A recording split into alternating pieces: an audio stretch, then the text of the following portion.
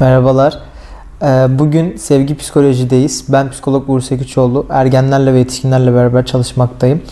Ee, Psikoloji Saati programında bu sefer e, Şafak hocamızla beraber e, çekingenlik yani yetişkinlerde ve çocuklarda ayrı ayrı e, çekingenlik nasıl oluyor onun üzerine bir program yapacağız.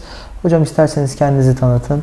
Merhabalar, ben psikolojik danışman Şafak Bıkmaz. İskenderun Sevgi Psikoloji Psikolojik Danışmanlık Merkezi'nde çocuk ve ergen danışmanlığı yapmaktayım.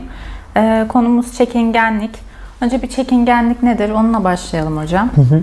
Aslında e, çekingenlik e, nasıl desem bizde çok böyle e, halk arasında bilinen işte aman işte çocuk şunu yapmaktan çekiniyor, bunu yapmaktan çekiniyor, işte sosyal ortama girmek istemiyor gibi aslında e, çekingenlik diye tarif ettiğimiz şey bir nevi aslında sosyal kaygı olabiliyor.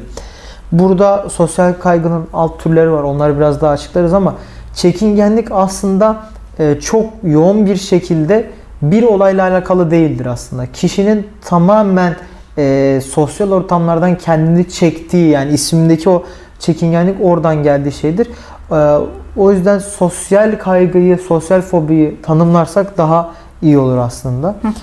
E, sosyal fobinin neden olduğuna dair bakmamız gerekiyor aslında. Sosyal fobi e, aileden de öğrenilebilecek bir şey. Yani aileden genetik olarak da geçecek bir şey. Ya da kişi e, olumsuz bir yaşam olayı yaşamış olabilir. Az sonra vereceğimiz örnekler içerisinde. E, bunun haricinde hiç yaşamamış olmasına rağmen birinin o sosyal ortamda e, kendisine göre rezil olduğunu düşünüp kendi başına gelmemesi için de kendini o sosyal ortamlardan çekiyor da olabilir aslında. Hı. Yani aslında genlerde de, yani biz şöyle çocuklarla çalışırken de açıkçası hani bir çekingenlik durumu varsa kime benzediğini sorarız. Anneye mi daha çok benziyor, babaya mı? Ya da kimde böyle bir durum vardı? Akrabalarda var mı? O yüzden genetik geçişin evet yüksek olduğu bir durum aslında sosyal kaygı. Hocam peki kaygının sosyal kaygının belirtileri nedir tam olarak? Şimdi sosyal kaygının belirtileri aslında belirti olarak bizim normal kaygıyı tanımladığımız şeylerin aynısıdır. İşte e, ellerde ayaklarda titreme, işte yüzde kızarma, kalpte hızlı hızlı çarpıntı, aynı sıcak soğuk basmaları, acil bir şekilde tuvalete gitme ihtiyacının olması. Aslında bizim kaygı belirtileri dediğimiz şeyin aynısı sosyal kaygıda olan şeylerdir. Burada e, sosyal kaygı e, dediğimiz şeyin aslında 3 grubu var. Şimdi birinci grup aslında ve bizim en fazla gördüğümüz grup performans grubu. Nedir bu performans grubu? Örnek veriyorum herhangi bir konuda bilgi becerisi sınanacaksa kişinin, burada yetişkin biri de olabilir, çocuk biri de olabilir. Yeteneğinin sınanması, işte hazırlanmış bir konuşmanın yapılması, bir e, yerde şarkı söylemesi, bir müzik aleti çalması, ders anlatması, sunum yapması ya da e, nasıl desem böyle aniden kalkıp bir toplantıda söz alması. Bu gibi durumlarda kişinin yaşadığı yoğun bir kaygıdır. Şimdi şöyle bir gerçeklik var. Ee, bizler de bir yerde bir konuşmaya çıkacağımız zaman o kaygıyı yaşarız. Yani aslında performans kaygısını her insan yaşar doğal performans olarak. göstereceği bir alanda kaygı yaşaması. Fakat burada e, bu kişiler kaygıyla mücadele etmek için farklı yolları seçebiliyorlar. Özellikle kaçmayı seçiyorlar. Ya da e, konuşmayı yaparken e, böyle sözlerini daha kısa cümlelerden yaparak seçmeye çalışıyorlar. İşte daha çok kaçmayla, kaçınmayla olan bir şey. İkincisi aslında etkiletişim, iletişim olan şeylerdir. Burada örnek veriyorum. Yolda birini, bir tanıdığını görüp merhaba demek çok ağırdır. Yeni biriyle tanıştığı zaman ona merhaba demek, iletişim kurmak, insanlara soru sormak, insanlara gözüne bakarak konuşmak, e, bir garsonu çağırmak, sipariş vermek, telefonda dahi sipariş verememek ya da çok karmaşık özellikle şu an e, yabancı e, firmalar özellikle çok fazla yiyecek ve içecekte Türkiye'de.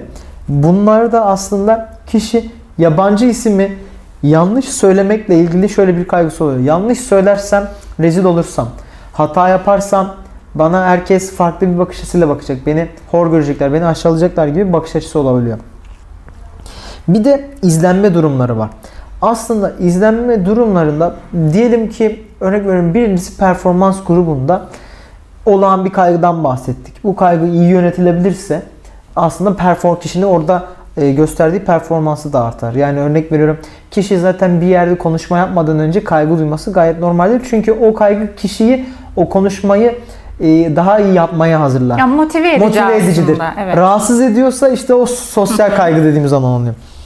Etkileşim durumlarında da olması yine bizim kabul edilebilir bir seviyesi vardır ama daha e, yüksekse bu yani bir sipariş verirken, yemek verirken, sipariş verirken yabancı biriyle konuşmaktan bu kadar kaygılanıyorsa ve çekiniyorsa fakat daha da kötüsü aslında izlenme grubu dediğimiz gruptur. İzlenme grubundaki gruptaki kişiler kalabalık yerleri sevmezler.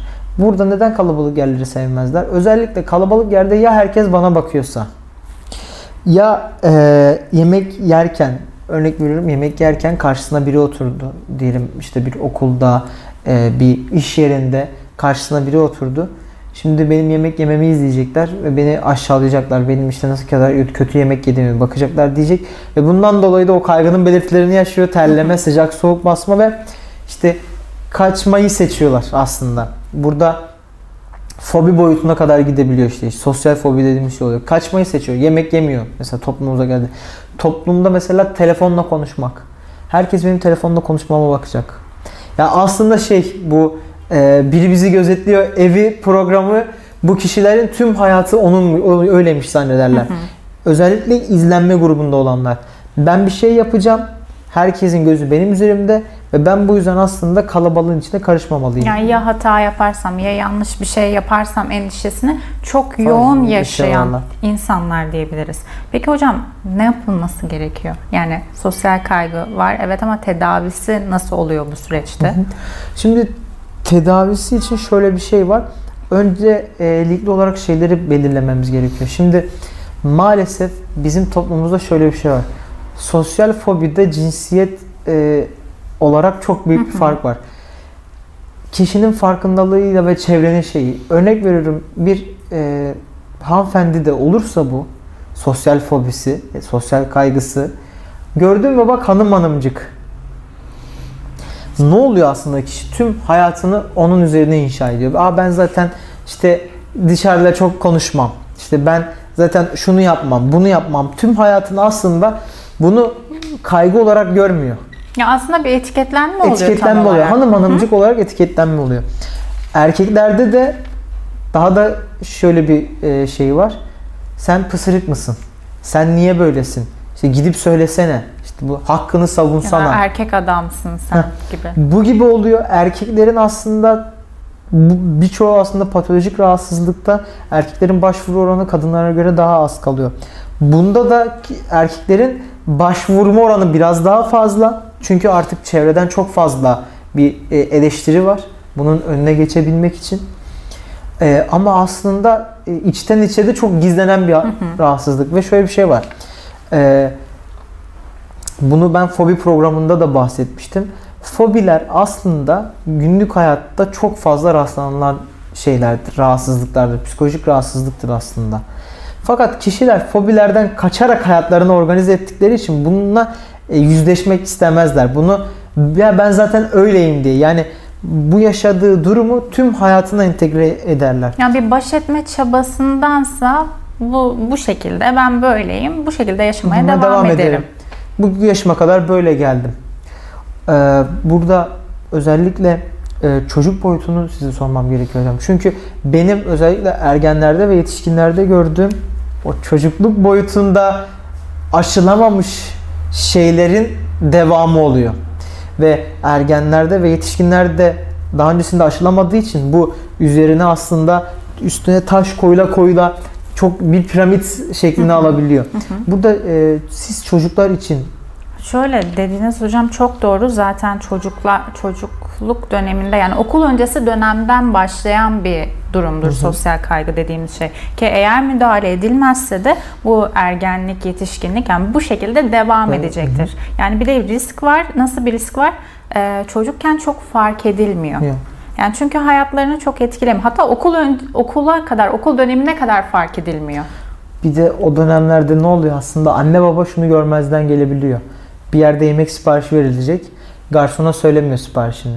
Hı hı, kesinlikle. Yani anne, anne baba zaten her türlü ihtiyacını giderdiği için Yani burada birazcık anne baba tutumlarıyla da alakalı bir durum var. Şimdi evet genetik bir geçiş olduğunu söyledik ama çevresel etkenler de çok fazla. Bu anne baba tutumu olabilir, yaşadığı ev ortamında bulunduğu kişiler hatta bazen şey bile etkili olabiliyor. Kardeş doğum sırası bile bu sosyal kaygının oluşmasında etkili olabiliyor. Yani o yüzden hani ailenin de çocuğu nasıl yetiştirdiği, sadece genetik etki değil, nasıl yetiştirdiği, anne baba tutumları çok mu mükemmelliyetçi oldukları ya da işte çok mu işgal edici oldukları, çok mu yönlendirici oldukları falan bunların hepsi aslında sosyal kaygıyı tetikleyen şeyler. Dediğim gibi okul dönemine kadar çok fazla fark edilmiyor. Okulda da genelde öğretmenler fark ediyor zaten. Ya yansımaları ne oluyor? Çocuk soru sormaya çekiniyor. Ee, söz aldığı zaman bir sıkıntı oluyor, konuşamıyor. Hatta işte utanmalar almıyor. falan, ağlamalar bu tarz şeylerle karşılaşıyor öğretmenler. Evet söz almıyor. Yani bildiği bir soru oluyor mesela cevap vermek Vermiyor. istemiyor. Ya da şey yandaki arkadaşı dürtüp ona verdirtiyor. Evet ona söylüyor cevabı. E, biliyor sonuçta. Niye? Çünkü burada aslında belki ebeveyn tutumunun da yanlışlığı ya da hocanın üstünde yaratmış olduğu bir korku, kaygı da olabilir ama onun haricinde kişi şundan en fazla korkuyor o çocukta. Hata yaparsam hoca beni eleştirecek, tüm sınıf gülecek. Gülecek. On- ondan çok Ya şimdi korkuyorlar. şöyle bir durum var. Evet çocuklar bazen ne, çocuk sonuçta acımasız olabiliyorlar akranlarına karşı. Evet bir olay olduğunda gülebiliyorlar falan ama e, her çocuk bu durumdan etkilenmiyor.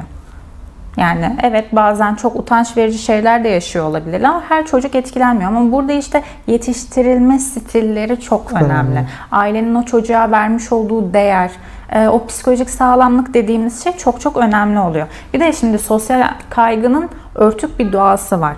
Yani normal bir insan dışarıdan hiçbir şekilde fark edilmez. Evet. Daha demin dediğiniz gibi hani toplumun kültürün de etkisiyle işte bir insan konuşmuyorsa her ortamda ne kadar ağırbaşlı, ne kadar efendi yerinde konuşmasını falan bilen kişi olarak algılandığı için bir de çocuklar ailenin yanında rahatça konuşuyorlar. Aile o yüzden Evet. de fark etmiyor. Ailenin yanında gülüyorlar, ediyorlar kardeşleriyle birlikte. Hatta evde problem olarak işte çok öfkeli, agresif, inatçı, ağlayan böyle bir çocukken dışarıda sus pus kesilebiliyor çocuk. Okul ortamında bir sosyal bir ortama girdiğinde çok farklı e, hareketler, davranışlar sergiliyor olabiliyor. İşte aile bu yüzden zorluk yaşıyor. Yani burada ailenin gözlemi çok önemli aslında. Evet evin içerisinde herhangi bir durum yok, bir sıkıntımız yok. Ama dışarı çıkınca, bir sosyal bir çevreye girince e, çocukta bir değişim oluyor. Bu dediğim bu da işte sosyal kaygının belirtileri. Yani dediğim gibi okul okul döneminde daha çok öğretmenler tarafından gözlemlendiğinde aile, "Aa çocuğumuzda bir şey mi var?" şeklinde hani bir destek almaya başvuruyorlar açıkçası.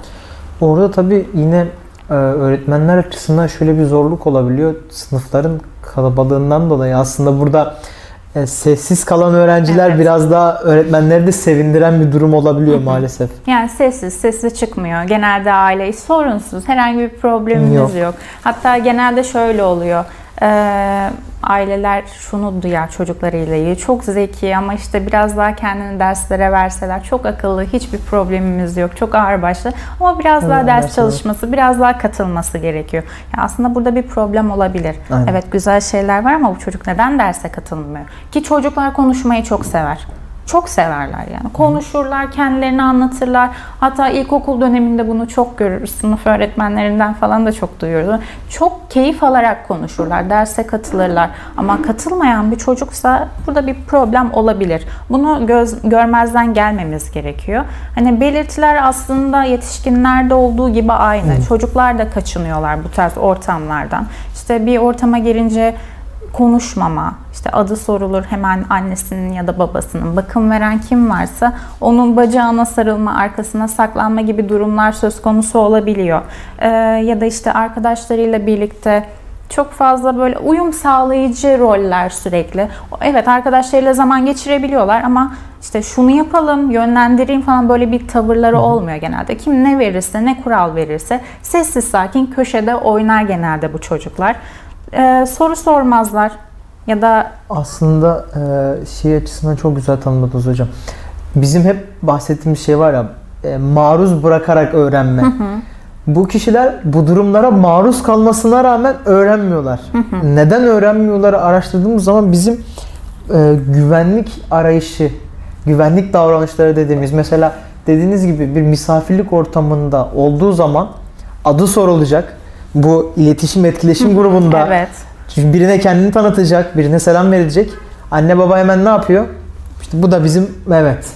Direkt müdahale ediyor. Direkt. Çünkü bir de çocuğun da cevap vermeyeceğini biliyorlar ya da şunu yapıyor. E, cevap versene. söylesene sene. çocuğum adını. Bak işte amca teyze sana bir şeyler sordu. Şimdi bu noktada da ailelere öneriler kısmımız olmalı. Yani evet çocuğun ya bir ha aslında hani nasıl grip oluyorsa aslında sosyal kaygıda böyle bir şey. Psikopatolojik bir durum. Hani burada çocuğu işte iteklemeniz, baskı Ne yapmanız, yapmanız? cevap ver demeniz bu çocuk için daha çok stres yaratıcı bir şey. Ve daha ileriye götürmektense tamamen daha geriye Geriye gidiyor götürüyor. çocuklar. Bir de işte ailenin tanımlaması da. Bizim oğlan da çok yabani işte şey yapmaz böyle. is- Kolay kolay selam vermez. Bu özellikle e, hani anne ve babalarda hadi oğlum merhaba desene bir de şey var. Yabancı turist gördüğü yerde hadi bir konuş İngilizce Hadi bir konuş. O- Aynen onun gibi bir durum Yani- söz konusu oluyor. Bir de şöyle kıyaslama yapılıyor. Ya evet başka çocuk. Bak senin yaşındaki çocuklar ya da kardeş varsa. Bak o böyle değil. Bak konuşuyor, adını söylüyor. Sen niye söylemiyorsun? Ya bir stres var zaten çocukta. Kıyaslama yapılarak daha çok yetersiz hissetmelerine neden oluyor çocukların. Ve dediğim gibi daha geriye gidiyor. Hani baskı, e, ısrar bu tarz şeyler sosyal kaygıda çok işe yarayan şeyler, Şeyler değil. değil. Tabii ki motive etme, destekleyici olma. Hani bunlar yapılmalı ama herkesin içinde bunun yapılmasına gerek yok. Bu çocuk için daha küçük düşürücü bir hal alıyor çünkü. Hani arkadaşlarıyla oynarken mesela birçok çocuk var. Ee, ortama diğer çocuk geliyor. Anne çocukların arasına sokmaya çalışıyor. Bakın bu da arkadaşınız. Buna gerek yok. Bırakın Çocuk kendi kendine orada kenarda dursun. Sonra bir şekilde oyunun içine çekilecektir zaten. İlla bizim iteklememize gerek yok. Biz yapılandırmayı önceden yaparız. Hani bak orada çocuklar var gider oynayabilirsin şeklinde dersiniz. Ondan sonra çocuk zaten yavaş yavaş ısınacaktır. Ama dediğim gibi itekleme, ısrar, git oyna bak onlar da senin arkadaşların, kardeşlerin. Hani bu şekilde çocuk daha çok stres. Çünkü orada işte aslında performans kaygısı dediğimiz şeye de dönüşebiliyor. Ya da işte o izlenme, ya yanlış bir şey yaparsam, ya hata yaparsam hepsi bu sefer çocuğun hakkında birikmiş oluyor. Ama annemi de ya da babamı da hayal kırıklığına uğratmamalıyım. O konuşmamı söyledi, konuşmamı istedi şeklinde. Ha, o yüzden bu noktada çok ince bir çizgi var, ince bir ayrım var. Hani baskı, ısrar bu çocuklarda hiçbir şekilde işe yaramıyor Yaramıyor. açıkçası. Ee, Türkiye'de şöyle bir şey var. Ee, aynı şeyler yapılıp farklı sonuç bekleniliyor. Evet. Ben bu çocuğu sürekli olarak dayatırsam bunu yap bunu yap bu bir gün açılır. Aşılmıyor. Ya Maalesef da ki aşılmıyor. kendisi adına bu aslında güvenlik davranışı olan şeylerde de mesela örnek veriyorum sunum yapacaksa kişi lisede ya da e, üniversitede sunum dersi varsa sunum yapacağı bir ders varsa ne yapıyor aslında bu maruz kalmadan kurtulmak için sadece slayta bakarak okuyor. Dönüp şeye bakmıyor. Niye? Çünkü döndüğü an bir performans kaygısı bir de izlenme kaygısı biniyor üstüne. Hata yaparsam haricinde tüm gözler bana bakıyor. Ya bir yanlış bir şey söylersem. Ne yapıyor bununla mücadele etmek için aslında? Dönerek hep okuyor. Evet maruz kalıyor ama yanlış maruz kalıyor. Niye? Çünkü kendisini bir güvenlik davranışı e, şeyi içerisine almış. Kendisini bir cam fanusun içerisine almış. Ama bu cam fanusun içerisinde de kendi gelişimi söz konusu Yani olmuyor. bir kolay yol bulmuş aslında. Pratik bir yol, yol bulmuş. bulmuş. Yani şöyle çocuklarda da şunu görebiliriz. Herkes oynuyor. Oyuna dahil olmaktansa oyunun işte diğer çocukların etrafında geziniyor. Sanki içindeymiş gibi görünmeye çalışıyor. Hani dışarıdan baktığımızda evet çocuklarla oynuyor bir arada. Ama normalde oyuna katılmıyor. E, onun için o birazcık hem anne babayı kandırma gibi bir durum oluyor. Hani çok iyi gözlem yapmak gerekiyor o yüzden çocuklar. O yüzden hani çekingen, utangaç işte böyleydi, biz de böyleydik zamanında özellikle bundan kaçınmak gerekiyor. Evet genetik geçiş var. Siz böyle olduğunuz için belki genetik aktarımla ya da öğrenilen bir şekilde çocuğunuz da böyle olabilir ama sizin yaşadığınız şeylerin aynısını yaşamak zorunda, Zorunda değil. değil. O yüzden hani önceden o çocukluk döneminde müdahale edilmesi şart daha oluyor. sağlıklı olur. Yani burada ebeveynlere şunu söylüyorum, söylemek istiyorum aslında. Çocuğunuz sizin tarlada yetiştirdiğiniz bir ürün değil. E, şimdi böyle büyüyünce geçer. Bunun bir garantisi yok. İki büyüyene kadar daha da artabilir. Başka şeylere evrilebilir E, kesinlikle. diyelim ki geçti. Örnek veriyorum 20-22 yaşına kadar sosyal kaygıyla yaşamış bir insan bir şekilde kendi başına atlattı ama o kişinin ilkokul yılları, ortaokul yılları, lise yılları, arkadaş ilişkisi, karşı cinsle ilişkisi, öğretmenleriyle ilişkisi hepsi çalındı. Yani geçti diyelim, kabul ediyorum geçti. Fakat geri o yılları kim nasıl telafi edecek? Hı hı. Yani o ortamlara nasıl çocukken yapması gereken Gereken şeyleri şeyleri yapamıyor, Yapamıyor. olacak. Ya burada her zaman için erken müdahale çok önemli. Sosyal fobi, sosyal kaygı diye adlandırdığımız şeyde şu da önemli bir şey. E, Bu aslında bugüne kadar olan bunların birçoğu aslında kişinin ya- yanlış öğrendiği şeyler. Kendi önün- önünde yanlış öğrendiği şeyler. Fakat şu da var. Kişi bu öğrendiği şeyi aslında yenine yeni bir bilgi koyabilir. Hı hı. Kişi bunlarda özellikle zorlanıyor. Çünkü bu tedavi kısmında bahsedeceğimiz aslında biz güvenlik davranışları olmadan maruz bırakmaya çalıştırıyoruz insanlara. Bu kişiye çok ağır gelebiliyor. Kesinlikle yani birden hadi birden yap. Bir denize direkt fırlatmak Gitmek. gibi bir şey oluyor Türk çocuğa. babasının işte yüzmeyi Evet. öğretmesi dili. Yani onun gibi bir şey maruzu bıraktık tamam bir şekilde olacak. Hayır daha da geriye gidebiliyor işte böyle durumlarda. Çünkü o sırada o denizin içerisindeyken ne yapacağını bilmediği için e, bu kaygı belirtilerin hepsini yaşıyor. Utanıyor, kızarıyor, kekelemeye başlıyor. Belki çocuk konuşamıyor, kendini nasıl ifade edeceğini bilmiyor. E, Bunlar da farklı şeylere evriliyor doğal olarak da. Ve şöyle bir şey var aslında. Ee, bu kişilerde de e, mükemmelliyetçilik de çok fazladır. Örnek veriyorum. 30 kişiliğe 30 kişi bir sunum yapacaksa bu kişi şunu deme.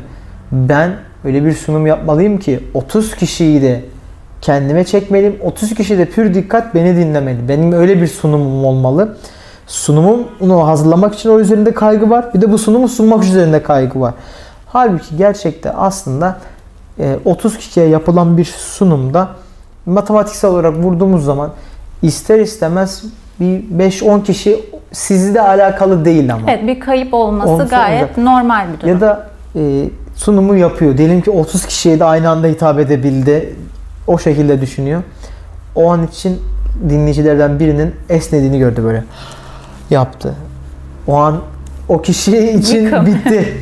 Ama halbuki senin sunumun harikadır. Seni çok iyi dinliyordur. Ama uykusunun gelmesinin sebebi sabah erken saatte bir sunumdur. Kişi yorulmuştur.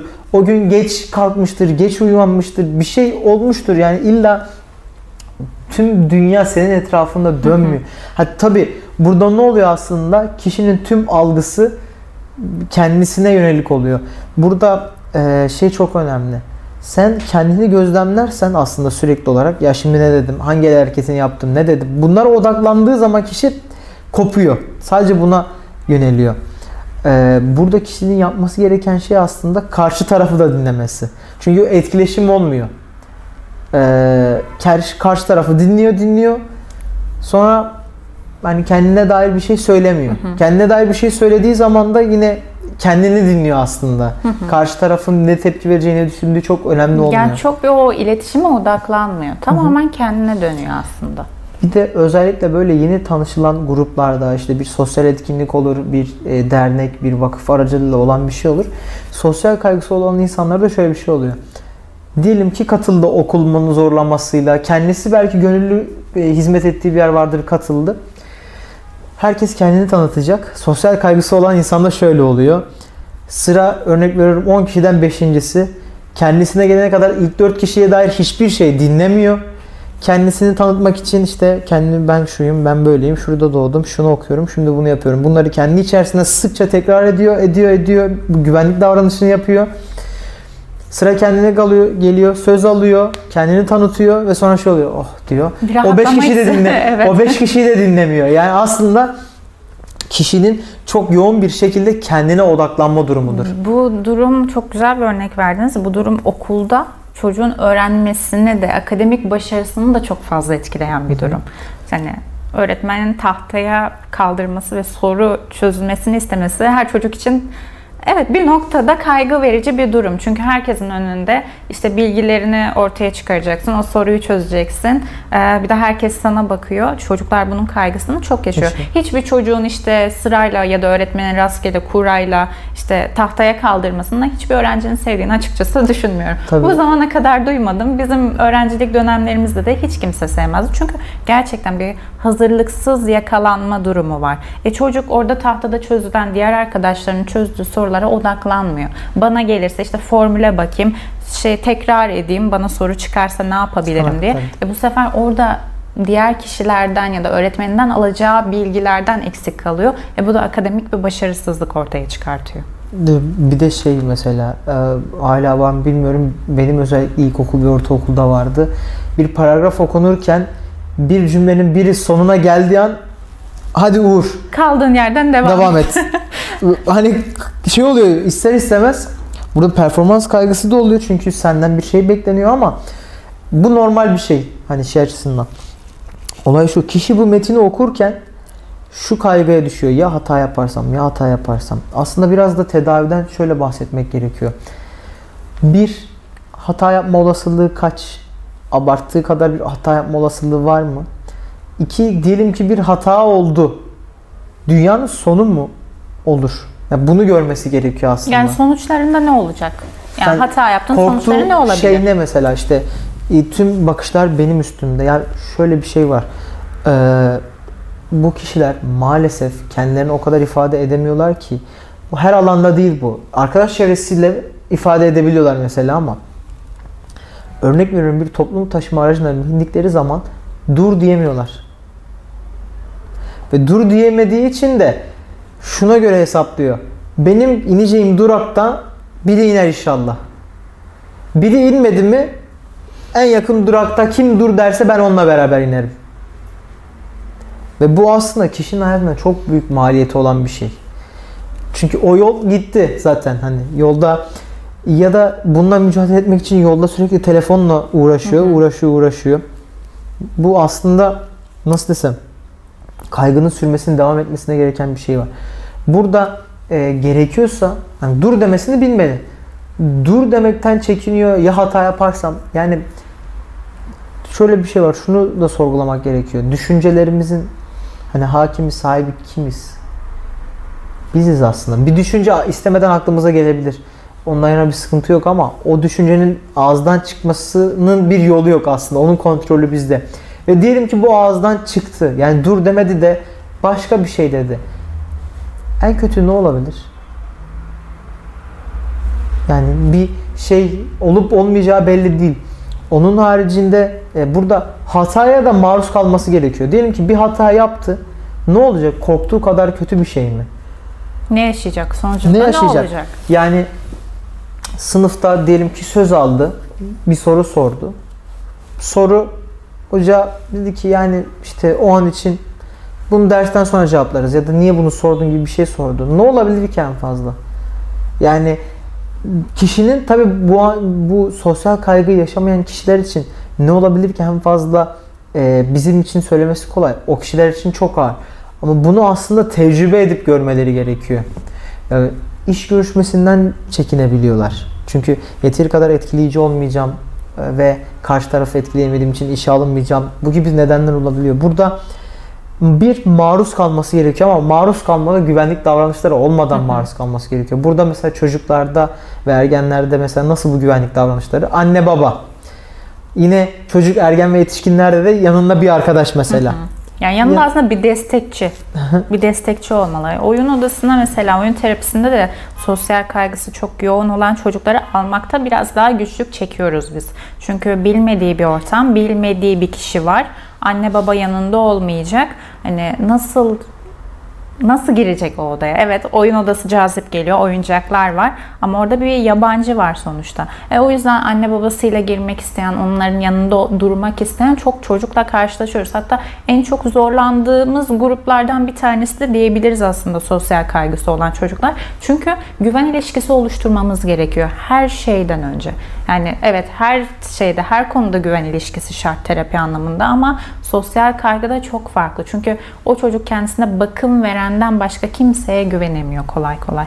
Yani da güven oluşturması için çok fazla zaman geçirmesi gerekiyor. O yüzden oyun odasındaki seans süreleri, o güven ilişkisi oluşturacak seans süreleri diğer durumlara göre daha fazla oluyor doğal olarak. İşte annesiyle birlikte giren çocuklara işte kademeli kademeli alıştırma, hani birden evet gel burada kalacaksın, birlikte oyun oynayacağız şeklinde değil de gerekirse anne babayla birlikte girmesine müsaade etme gibi yaklaşımlarda bulunmak durumunda kalıyoruz. Çünkü diğer türlü o ilişkiyi kuramıyoruz, iletişimi kuramıyoruz. Genelde oyun odasına girdiklerinde de tek başlarına oynamayı tercih ediyorlar. Hani çok fazla sizi oyuna dahil etmiyorlar. Diğer çocuklarda çünkü şey vardı. Bu kadar oyuncak varsa bir oyun ablasının olması onunla oynayabilirim. Oyun arkadaşı sonuçta. Onunla oynayabilirim düşüncesi yaratıyor ama sosyal kaygısı olan çocuklar hayır. Kendi başına o odanın içerisinde hani durabilir. Kendi kendine oynayabilir ama sizi oyuna dahil etmesi çok uzun zaman oluyor. Burada ben her zaman şunu söylüyorum ol, olmak istediğin kişi nerede? Sen bu sosyal kaygı ile ilgili düşüncelerle neredesin? Olmak istediği kişi burada, kendisi burada oluyor. Peki şunu soruyorum. Bugüne kadar yaptığın davranışlar seni olmak istediğin kişiye doğru yaklaştırıyor mu? Yoksa yerinde mi hatta daha mı aşağı çekmiyor? Bu özellikle e, üniversite öğrencilerinde ve lise grubu öğrencilerinde olan bir şey karşı cinsi açılmayla ilgili e, karşı tarafa bir şey söyleyecek ama yapamıyor. Örnek veriyorum yo, e, koridorda, okulun koridorunda o karşı tarafı görüyor. Merhaba diyecek. Diyemiyor. Ama şöyle bir şey var. Onunla da etkileşime geçmek istiyor. Bir yandan iç, içten içe de o kişiyle görüşmek istiyor. Senin o merhaba dememek için aslında yaptığın kaçınma davranışı. Örnek veriyorum karşı taraftan geldi. Kafanı arkadaşına çevirdin. Gördün. O seni görmeden hemen döndün. Sen yolunu değiştirdin. Arada bir sınıf vardı kendini o sınıfa attı. Bu gibi davranışlar seni o kişiye yaklaştırıyor mu? Yaklaştırmıyor aslında. Ee, burada şey çok önemli işte. Kişi yaptığı şeylerin aslında maliyetini görmeli aslında. Kendi hayatından maliyetini görmeli. Kendine aslında bir şey katmadığını, e, kendisini geriye çektiğini görmeli ki aslında e, tedaviden sonuç alınabilmeli. Hı hı. E, öbür türlü çünkü anne babası gibi hadi bunu yap, hadi şunu yap gibi değil. Bu arada şöyle bir şey var. Kişi nereye kadar neleri yapabiliyor? Örnek veriyorum bir arkadaş grubuyla ilk başta kaynaşamıyordur ama sonrasında kendini çok rahat bir şekilde açabiliyordur. Ama yeni bir arkadaş grubuna katıldığı zaman ya da yeni biri o arkadaş grubuna katıldığı zaman yine şey yaşabiliyor. Burada kişinin neleri yapıp neleri yapamadığı belirlenmesi gerekiyor. Ve ona göre aslında bir yol izlenmesi gerekiyor ve neler yapmak istediği ve neler yapmak istediğinde de neleri ya güvenlik davranışıyla beraber yapıyor. Örnek veriyorum yine e, bir işte karşı cinsten birine bir selam vermek istiyorsa yanında yakın arkadaşıyla beraber gidiyor. Hı hı. İşte merhaba biz kendi tanıtırken. Bunları aslında kişi şunu farkında olması gerekiyor. Bunların hiçbir faydası yok ve bunlar tamamen kişiyi geriye götürecek etkinlikler. Evet kalıcı bir çözüm değil. Kalıcı değil. Sadece anı kurtarmak için yapılan ya da o anı geçiştirmek amaçlı yapılan, yapılan durumlar oluyor. Ee, yani maalesef e, şöyle bir şey de var. Benim üniversitede e, sunumdan kalan arkadaşım vardı. Sürekli o sunum, tezin sunumunu yapması gerekiyor. Tezi de yazmış. Akademik olarak da başarılı bir öğrenci. Fakat sunum yapamıyor. Kaygıdan dolayı e, kaçıyor sürekli. Sürekli tek dersten 3-4 sene boyunca tekrar etmek zorunda kaldı. Mesela orada da o kişi için pandemi şanslı oldu. Çünkü sunumu online olarak yapınca evinde güvenli kısmında olunca 30-40 e, kişinin dinlediği değil de çünkü işte derslerde yan sekmede başka şeylerin yapıldı. Telefonunla uğraşıldı. Çok göz temasının olmadığı, olmadığı bir ortam. Bunu da yapabildi. Ya da mesela ne oluyor? Kişinin iş arkadaşlarıyla arası iyidir. İş arkadaşlarını kendini açabiliyordur. Eşiyle kendini açabiliyordur. Dışarıda yeni biriyle kendini açabiliyordur ama amirleriyle, patronuyla problemi vardır. Çok hastadır, bir izin alamıyordur. Çünkü hat, ya hata yaparsam ne olacak? Ben izin istersem acaba işte beni işten atarlar mı? Bana söylenirler mi? İnanmazlar mı? Bunlara sürekli odaklandığı için kişi aslında sürekli çünkü olumsuza odaklanıyor ve olumsuza aslında e, nasıl desem bir dedektif gibi peşinde koşturuyor. Burada e, ket vurmak gerekiyor düşüncelere ve yeni yerine yeni düşüncelere odaklanmak gerekiyor. Daha sağlıklı, daha işte e, çözüm odaklı Baklı. belki de düşünceler lazım. Şunu bilmesi lazım kişinin bugüne kadar kaç yaşında isterse 10 yaşında olsun kaygıyla mücadele ederken ister 15 ister 25 ister 40 yaşında olsun mücadele ettiği yolu kullandığı yolu en az bir senedir kullanıyor oluyor. Ve bir şey değişecek olsa bir sene boyunca değişirdi. Bizim seansta amacımız yapılan araştırmalar şunu gösteriyor. Kişinin düşüncesini ve davranışını değiştirirsen e, seanslar içerisinde başarı elde edersin. Kişinin özellikle korktuğu durumların seçilip belirlenip yavaş yavaş onlara parça parça müdahale etmemiz gerekiyor. Burada e, şu da çok önemli. Kişiyi dedik ya Türk babasının e, yüzme öğretir gibi iskeleden atar gibi değil. En aşağı olarak bir basamak belirlenmesi lazım. Yani örnek veriyorum 0 ile 10 arasında puanlanmak istendi. E, şeyden gidelim işte karşı cinsten biriyle tanışmak istiyor. Merhaba demesinden ne kadar çekiniyor? Örnek veriyorum 5 puan dedi. O zaman ilk başta onu merhaba ile ilgili. Ders çıkışında ona bir şey sormak mesela 6 puan veriyor. Öncelikle merhabayı yapması gerekiyor. Niye? Merhabayı yaptıktan sonra şunu görmesi gerekiyor. Ben merhaba dedim ve ne, ne oldu? Kötü bir şey oldu mu? Olmadı. Belki ismini şey yaptı. Tam emin olamadı. İsmini sordu. Burada da şöyle bir şey var. Gördüm mü ismini bile bilmiyormuş. Buna odaklanmak yerine aslında şuna odaklanmak gerekiyor. Sen, senin merhabana merhaba diye karşılık verdi mi? Evet verdi. Ve beklediğin kadar korkunç muydu aslında? Yaşadığın beklediğin kaygı kadar değildi. İşte ders çalışmaya yönlendirme, beraber şey ders hakkında soru sorma. Bir üst basamak beraber ders çalışalım ve bir üst basamak işte beraber çıkalım mı? Bir, örnek veriyorum bir arkadaş grubuyla beraber de olabilir. En son aslında o kişiye kendini açmak. Ee, tabii şöyle bir şey var. Kişiler adına söylüyorum. Bunları tek başına yapmak çok zor bir şey. Çünkü bugüne kadar güvenlik davranışlarıyla beraber yaptıkları için e, sosyal fobide, sosyal kaygıda dur demedikçe devam eden bir şey ve e, terapi burada aslında çok etkili bir şey. Evet, bir de kişinin de bunu istiyor olması gerekiyor. En çok zorlandığımız bence sosyal kaygı anlamında en çok zorlandığımız durum ergenlerle. Ergenlerde çalışması daha zor. Şimdi çocuklarda evet çocuk farkında değil bir şekilde dokunabiliyoruz. Bir şekilde örnek davranışlar sergilemesine yardımcı olabiliyoruz. Yetişkinler artık bir yere kadar bir dur diyorlar. Benim hayatımda olumsuzluklar olmaya, kötüye gitmeye başladı hayatım. Etkiliyor bu durum deyip yardım istiyorlar. Ama ergenlerde bir arada kalmışlık durumu söz konusu oluyor. Bunu yapacak çok fazla cesaretleri yok. Kendileri isteyerek çoğu zaman gelmiyorlar ya aile gönderiyor, okulun e, yönlendirmesiyle oluyor. İşte bu kısımda çalışmak daha zor oluyor aslında. İşte e, en büyük şey aslında şu. Buradan bizi dinleyen işte e, ortaokuldaki, lisedeki arkadaşlarıma sesleniyorum. E, maliyetine, hayatına maliyetine, senin olmak istediğin insana yaklaştıran bir şey mi?